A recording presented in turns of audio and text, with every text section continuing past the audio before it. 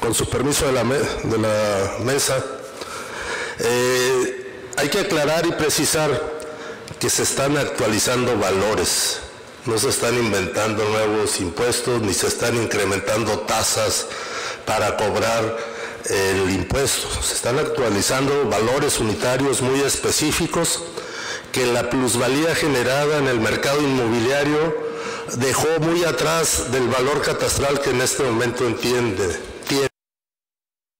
Aquí hay compañeros, amigos que tienen vínculos estrechos con notarías y saben que cuando se vende un predio, el, el valor catastral está lejísimos de su valor comercial y es un problema poder ajustar incluso el valor de venta. Y la ley catastral marca que debe ser lo más próximo al valor comercial.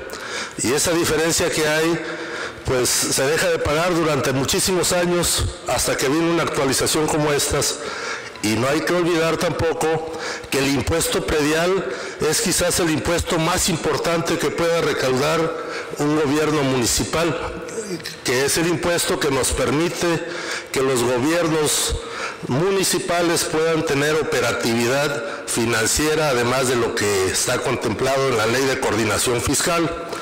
Por eso este es un tema de equidad y justicia tributaria y está representado en aproximadamente, como lo mencionó mi compañera candidata, mi compañera diputada Candy Ayuso, 73 mil en 73 mil predios. 73 mil predios que representan el 20% aproximado de lo que es el universo de los, del número de lotes. Por eso creo que no solamente en este municipio debiera de estarse buscando la actualización de los valores catastrales, en todos. Ustedes vayan en solidaridad, por ejemplo, un predio en la avenida 35 con la 4 vale 25 mil pesos el metro cuadrado.